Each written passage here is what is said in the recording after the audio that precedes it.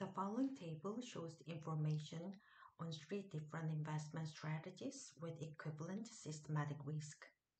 Strategy 1 Passive Strategy 2 Exploit price patterns Strategy 3 uses fundamental analysis. Question is, what is the return, gross of fees and expenses that causes a strategy 3 to be most consistent with a strong form of market efficiency? In strong form of market efficiency model, market prices fully reflect all public and private information.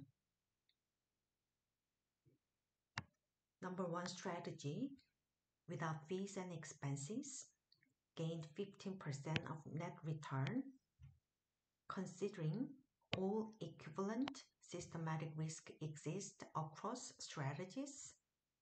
Strategy 3 will gain also 15% of return.